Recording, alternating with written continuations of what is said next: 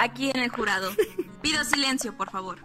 Estamos aquí por una difícil razón, pero solamente una persona responsable.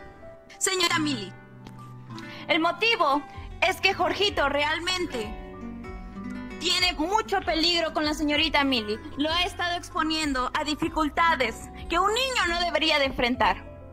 Lo único que pide mi cliente es la pensión, los bienes y la custodia completa de Jorgito. Nada más y nada menos lo que se le debería otorgar por misma ley de justicia hacia los inocentes. La acusada Milly puede hablar ahora. ¡Ay, chingón! ¡Tú das permiso!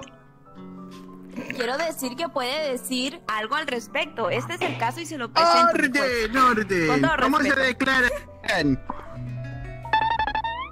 Ahora se supone que damos una introducción. Muy buenas tardes, su señoría. Muy buenas tardes, parte de Silver y su abogada. Resulta que el señor presente el día de hoy, conocido como Silver, está atacando o demandando, mejor dicho, a mi cliente, una pequeña señorita conocida como Milly, la cual si he de encerrarla por algo, solamente ha sido por robar el corazón de la gente con su ternura. Nada más. En la demanda escrita, como se dijo, ella en la demanda escrita, como se pidió, están pidiendo la custodia de